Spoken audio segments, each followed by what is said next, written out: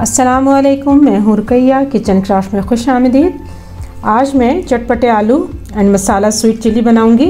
तो उसके लिए यहाँ पे मैंने ये चिली ली है। ये इस मिर्चों को स्वीट चिली भी कहते हैं, क्योंकि ये बिल्कुल भी तेज़ नहीं होती, इसमें कड़वाहट नहीं होती और ये सब्ज़ी के तौर पे यूज़ की जाती हैं। इसलिए इसे खाने में कोई मसला नहीं होता, ना मिर्चें लगती हैं, ना कुछ और, बच्चे बच्चे भी आराम से इसे खा सकते हैं।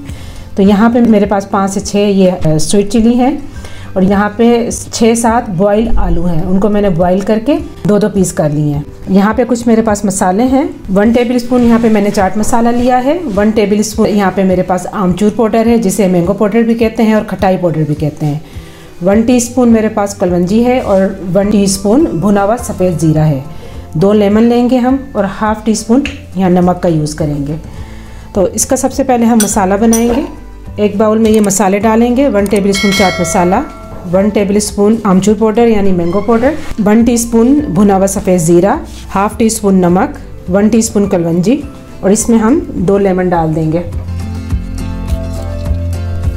इसे मिक्स करेंगे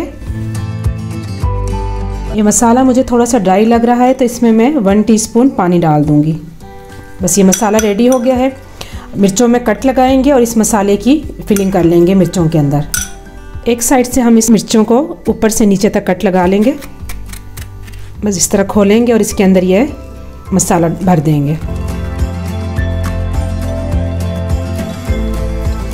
पूरी मिर्च में हमने मसाला भर दिया, बाकी भी इसी तरह तैयार कर लेंगे मिर्चों को।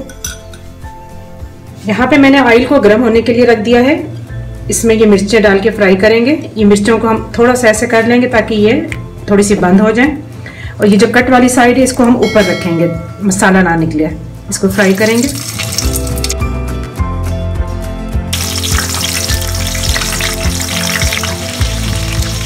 बस हमें मिर्चों को इतना ही फ्राई करना है इससे बस अब तेल से निकाल लेंगे।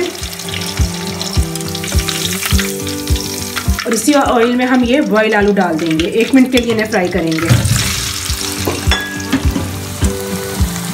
यहाँ पे एक से दो मिनट के लिए मैंने आलू को फ्राई किया है और इससे बिल्कुल लाइट सा मैंने कलर दिया है। बस इसे अब ऑयल से निकाल लेंगे। इस पैन में से ऑयल को रिमूव कर देंगे। सिर्फ़ दो टेबल स्पून इसमें रहने देंगे। इसमें से ऑयल को निकाल लेंगे। अच्छा जी, यहाँ से मैंने बाकी ऑयल निकाल लिया है। सिर्फ़ दो टेबल स्पून इसमें रहने दिया है और ये जो मसाला था, इसमें मिर्चों का थोड़ा बहुत, वो भी इसी में रहने दिया है। अब इसमें मैं हाफ़ टी स्पून हल्दी, ये डालेंगे।